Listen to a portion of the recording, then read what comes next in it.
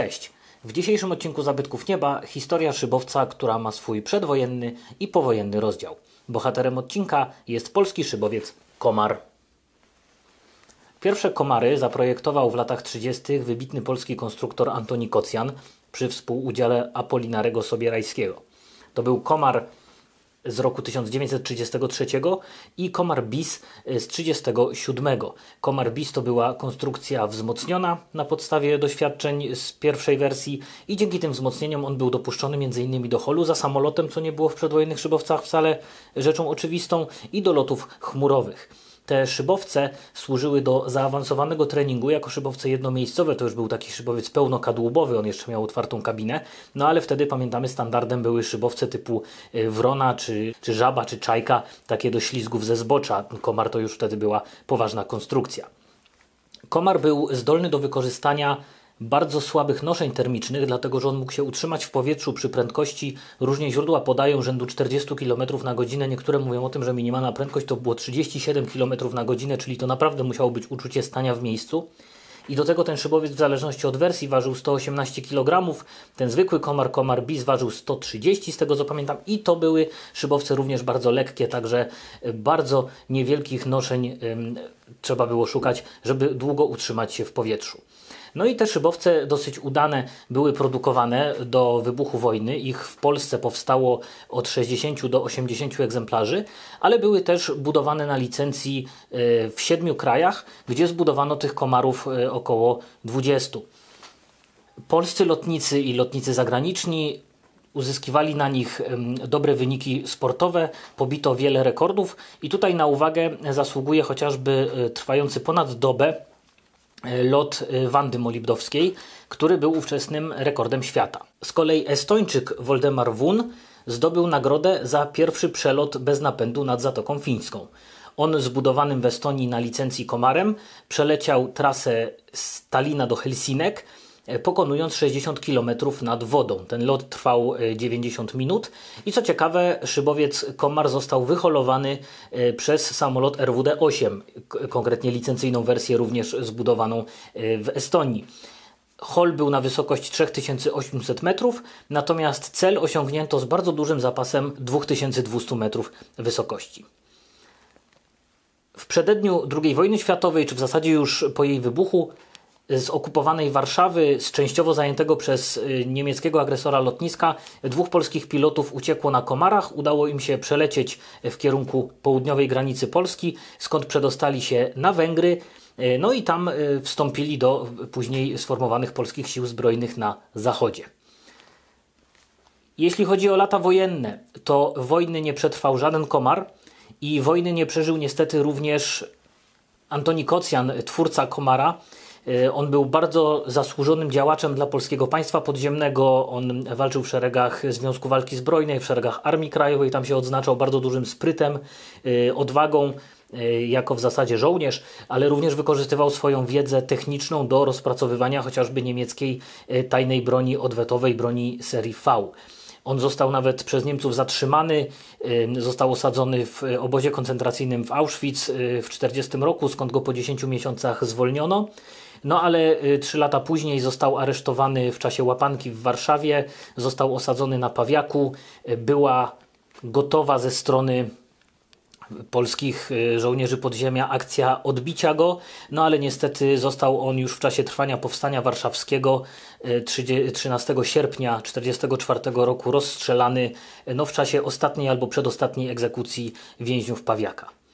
Wojnę natomiast przeżyła żona Elżbieta Kocjanowa, e, która przechowała część dokumentacji technicznej, którą stworzył jej mąż. I zachowała się m.in. dokumentacja szybowca Komar e, w wersji tej pierwotnej, nie w wersji Komar Bis i ona stała się podłożem do powojennego rozdziału historii szybowca Komar.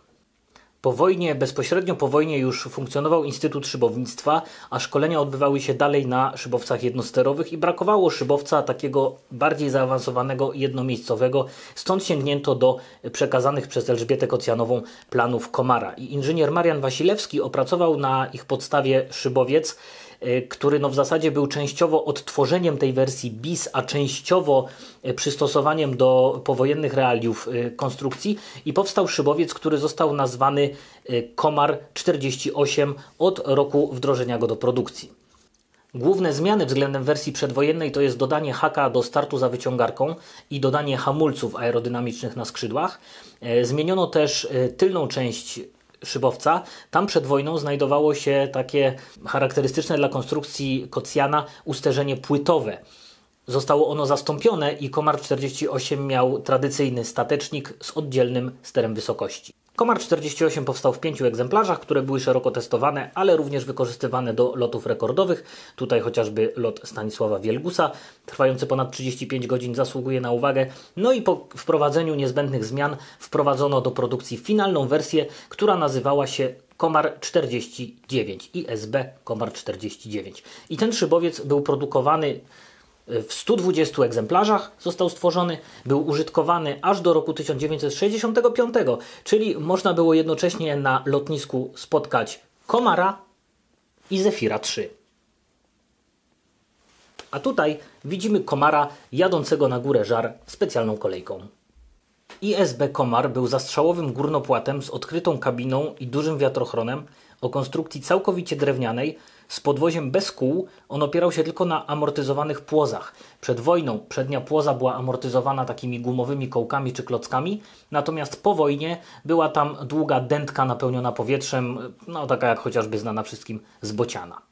Dość istotnym zmianom konstrukcyjnym poddano też płat. On miał inny troszkę obrys i wznios niż wersja przedwojenna, ale co najważniejsze, zrezygnowano z żeberek nawlekanych na dźwigar. To jest technologia budowy dosyć kłopotliwa. W taki sposób chociażby była budowana salamandra, jak rozmawiałem z panem e, Witoldem Nowakiem, który salamandrę odbudował i oblatał, no to mówił, że on drugi raz by się raczej nie podjął budowy salamandry, między innymi właśnie dlatego, że jest to szybowiec, który po pierwsze ma bardzo dużo metalowych, skomplikowanych okuć, mimo tego, że jest drewniany, a po drugie dlatego, że ma nawlekane na dźwigar żeberka, co jest ogromnym problemem wykonawczym. Przedwojenny komar miał to samo rozwiązanie, natomiast ta wersja powojenna już miała żeberka dołączane do dźwigara, przez co o wiele łatwiej było ten szybowiec produkować, e, zwłaszcza wielko tylko seryjnie. No 120 egzemplarzy to jest spora seria, jak na szybowce. Co ciekawe, z wersji przedwojennej zniknął zakrętomierz i busola. Komar 49 miał tylko prędkościomierz, wysokościomierz i wariometr. Komary można było również poznać po kolorze. Przedwojenny komar był w naturalnym kolorze sklejki i płótna. Komar bis był popielaty, natomiast powojenny komar 48 był taki jasno-brązowy, a prezentowany tutaj na zdjęciach muzealny komar 49 był pomarańczowy. I takiego właśnie pomarańczowego komara można oglądać do dziś w Muzeum Lotnictwa Polskiego w Krakowie. Mam nadzieję, że historia tego szybowca się Wam podobała, yy, zwłaszcza ten przelot yy, nad Zatoką Fińską moim zdaniem jest tutaj bardzo takim miłym i ciekawym epizodem. I ten odcinek chciałbym też zakończyć pozdrowieniami dla jednego z widzów Zabytków Nieba, dla Alka który jest jednym z naszych młodszych widzów. Bardzo interesuje się on i samolotami, szybowcami, również komarami. Także mam nadzieję, Alku, że ten odcinek Tobie dedykowany e, Ci się spodobał i że będziesz nadal oglądał Zabytki Nieba i dowiesz się wielu ciekawych rzeczach jeszcze o innych samolotach i szybowcach. A wszystkich zapraszam już wkrótce na kolejny odcinek Zabytków Nieba. Dziękuję za uwagę i żegnam się z Wami. Do zobaczenia. Cześć.